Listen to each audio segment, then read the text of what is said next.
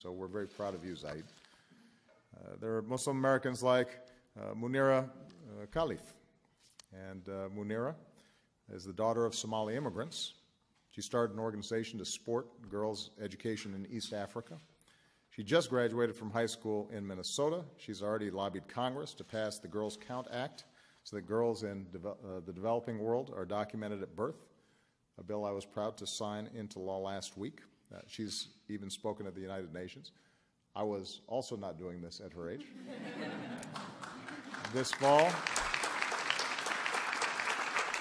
uh, this fall, Munira is uh, heading to Harvard to continue her education in public service, which was a tough choice because, of course, she was accepted to all the Ivy League schools she applied to.